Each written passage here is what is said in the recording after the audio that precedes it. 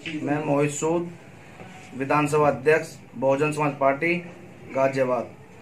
सभी शहरवासियों को इकहत्तरवें गणतंत्र दिवस की हार्दिक शुभकामना देना चाहता हूँ और सभी से और नगर निगम में वाहन चालक संघ का मीडिया प्रभारी होने के नाते सभी ड्राइवर और सफ़ाई कर्मचारियों को गणतंत्र दिवस की हार्दिक शुभकामनाएँ देना चाहता हूँ।